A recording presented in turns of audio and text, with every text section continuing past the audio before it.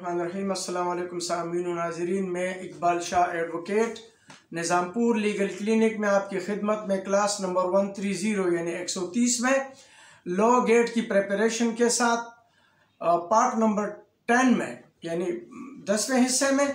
आज हम सीपीसी के हवाले से जो है क्वेश्चन जो है वो आज हम हल करेंगे। आज मेरे पास तीस क्वेश्चन है सीपीसी के हवाले से और सीपीसी जो है वो लॉ गेट में ट्वेंटी परसेंट जो है वो सीपीसी से सिविल प्रोसीजर कोड से आता है। और इसमें जो सिलेबस में जो क्वेश्चन इससे मुतालिक आते हैं सेक्शन जो दिए और ऑर्डर दिए वो मेरे फिर आपको बताऊँ। इसमें सबसे पहले जो सीपीसी का सेक्शन है nine section twelve section fifteen section twenty section forty seven section seventy five section ninety six section one O four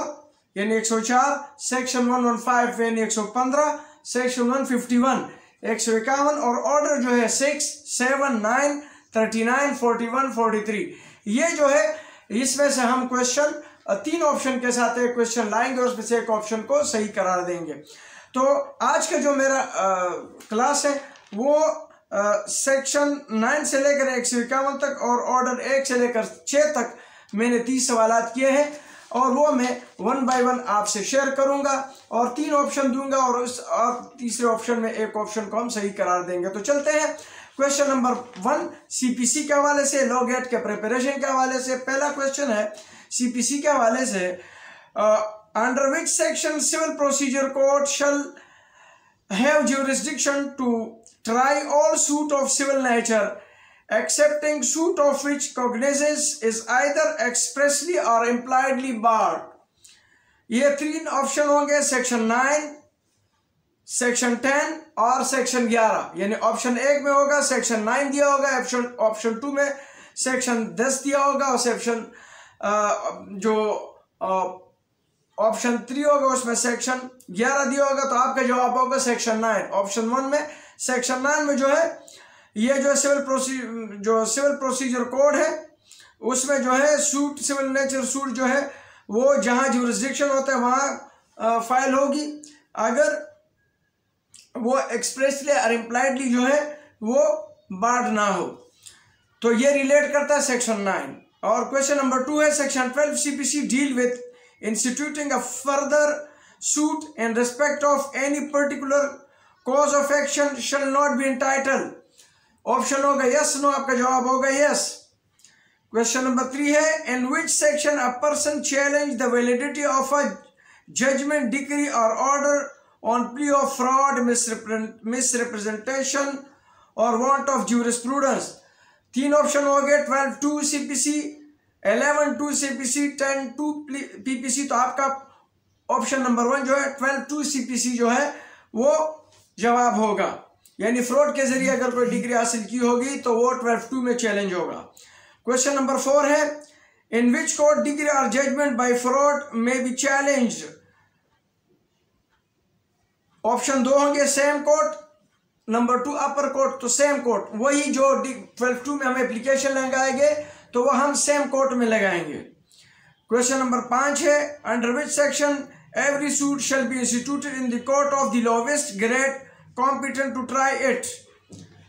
option number one है सेक्शन 15 ऑप्शन नंबर टू है सेक्शन 16 ऑप्शन नंबर थ्री है section uh, 17 तो आपका option number one section 15 जवाब होगा। कि section 15 के तहत जो है हम जो भी शूट करेंगे तो सबसे छोटे लेवल का जो वो होगा कोर्ट uh, होगा उसमें जो लोवेस्ट ग्रेड कोर्ट होगा कॉम्पिटेंट होगा तो उसमें हम केस फ़ाइल करें। अब इसी तरह क्वेश्चन नंबर सिक्स है। Section sixteen deal with the suit to be instituted where subject matter situate situated यानी इसका जवाब ट्रू फॉल्स होगा तो आपका ट्रू जवाब होगा फॉल्स नहीं। यानी सिक्स सोलह जो है, वो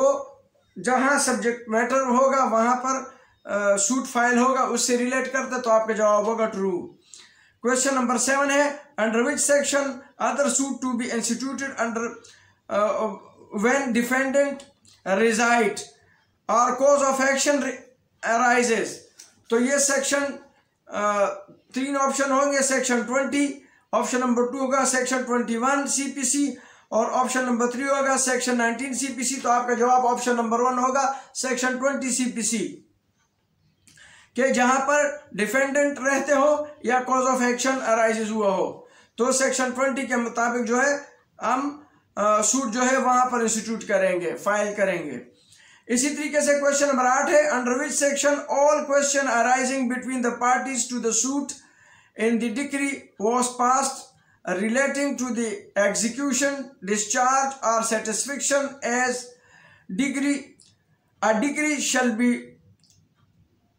deserving by the court executing the decree or not by a separate suit ये जो होगा ये सेक्शन ऑप्शन होंगे सेक्शन 47 सेक्शन 48 या सेक्शन 50 तो आपका जवाब होगा सेक्शन 47 इसी तरह क्वेश्चन नंबर नाइन है। Section 75 CPC deal with power of court to issue to issue commission true false तो आपका जवाब होगा ट्रू यानी कमीशन को बनाने के लिए सेक्शन 75 जो है, वो पावर होगा उसको commission court to issue summon commission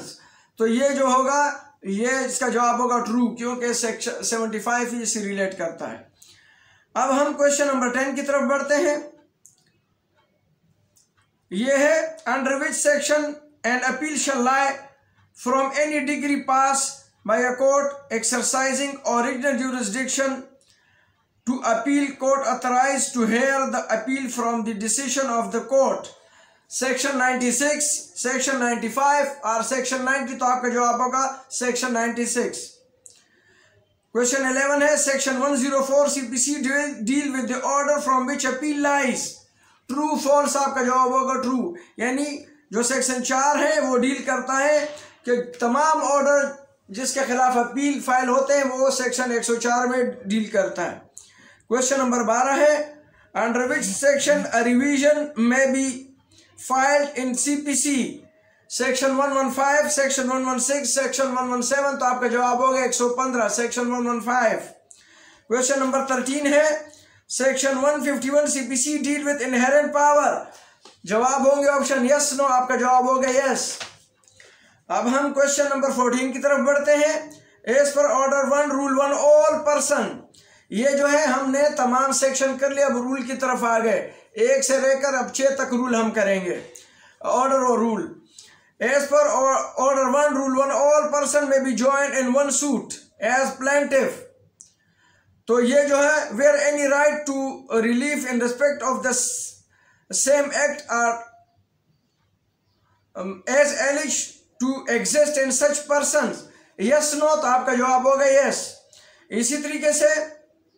question number fifteen है order one rule two deals with the power to court in in order separate trial true false आपका जवाब होगा ट्रू इसी तरह सिक्सटीन है which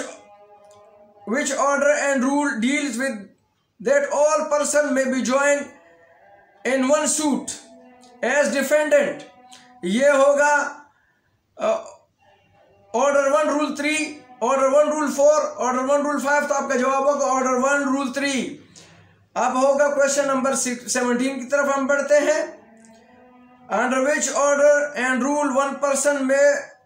sue or defend on behalf of all ये जो होगा, इसका order one rule eight order one rule nine और ऑर्डर वन रूल सिक्स तो आपका जवाब होगा ऑर्डर वन रूल एट इसी तरह नो क्वेश्चन नंबर एटीन है। No suit shall be uh, no suit shall be by reason of the misjoinder or non-joinder of parties as per order one rule nine ये होगा true false तो आपका जवाब होगा true अब ये question number nineteen order one rule ten deals with the suit in name and wrong plaintiff ये होगा in the name of wrong plaintiff and the court may any stage of the suit of satisfaction or order may order any person to be substituted or added in plaintiff upon such terms as the court uh, satisfied आपका question होगा yes no जवाब option होंगे yes no आपका जवाब होगा yes question number twenty है as per order one rule twelve where there are more plaintiff than one और defendant more than one any one or more may be authorized by any other to the, to them to appear, plead, or act for such proceeding. जवाब yes no होगा, आपका जवाब होगा yes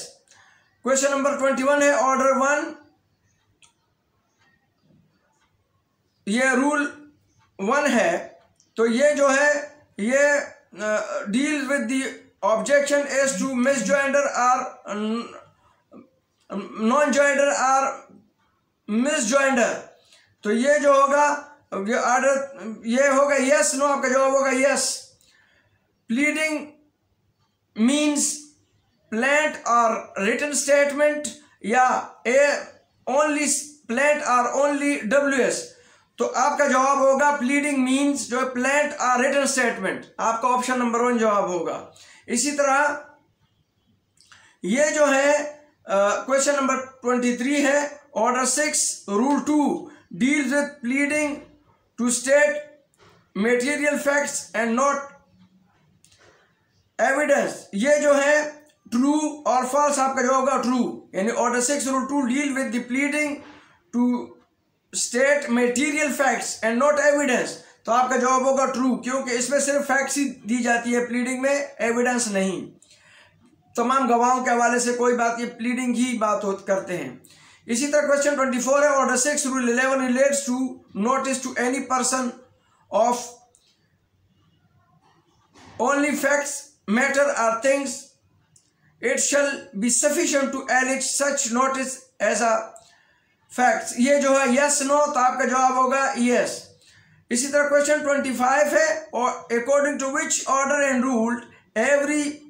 pleading shall be signed by the person and his pleader तो ये जो है, ये order one rule four order one rule ten order one rule twelve तो आपका जवाब होगा ऑर्डर वन रूल फोर्टीन ये जवाब होगा. क्वेश्चन नंबर ट्वेंटी सिक्स है proviso of order six rule fourteen allow pleading may be signed by only person duly authorise by by him to sign the same ये जो होगा yes no तो आपका जवाब होगा यस यानी अगर किसी को ऑथराइज किया गया है तो वो भी प्लीडिंग को जो है साइन कर सकता है। ये है ऑर्डर जो ऑप्शन दिया दिया गया है ये ऑप्शन सिक्स यस नो का है तो आपका जवाब होगा यस और ये ऑर्डर वन रूल फोर्टीन की बात करते हैं। इसी तरह क्वेश्चन नंबर ट्वेंटी सेवन में according to which order and rule of C P C every pleading shall be verified at the facts by the party और by one of the party prove to the satisfaction of the court order six rule fifteen order six rule fourteen order six rule thirteen तो आपका जवाब होगा order six rule fifteen इसी तरह question number अट्ठाईस की तरफ़ बढ़ते हैं। Order six rule sixteen deal with striking out pleading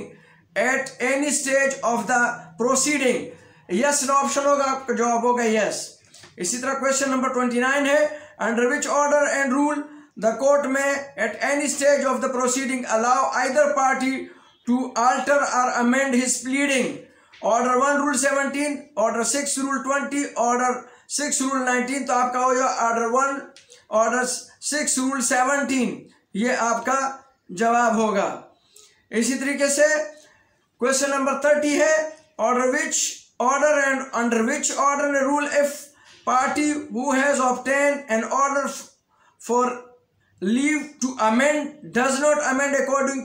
accordingly, with, within the time limited, he shall not be permitted to amend after the expiration of such limited time. Order 6 rule order six rule eighteen order six rule seventeen order six rule nineteen तो आपका जवाब होगा order six rule eighteen ये तीस question थे जो हमने section nine twelve fifteen forty seven seventy five ninety six और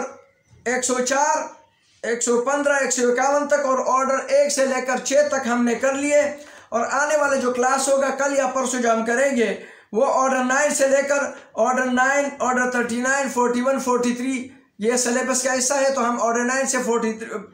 order nine thirty nine और ऑर्डर फोर्टी वन और फोर्टी थ्री नेक्स्ट क्वेश्चन में करेंगे, जो कि वो बीस क्वेश्चन मैंने तैयार किए हैं, वो बीस क्वेश्चन हो गए।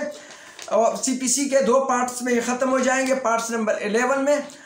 जो आज जो मैंने सीपीसी के हवाले से तीस क्वेश्चन ऑप्शन के साथ आपके सामने लाए, उम्मीद है कि आपने उसको, अगर आप उसको गौर से पढ़ें ऑप्शन के साथ देखें और जो रूल पे, जिस पे हमने ऑप्शन किसी भी एक को हमने चुना है, उसको आप जहन नशीन करें। तो आप, मुझे उम्मीद है कि आप जब लॉ गेट के एग्ज़ाम में बैठेंगे तो अच्छे नंबरों से ना सिर्फ़ पास होंगे, बल्कि एक अच्छे वकील भी बनेंगे। तब तक के लिए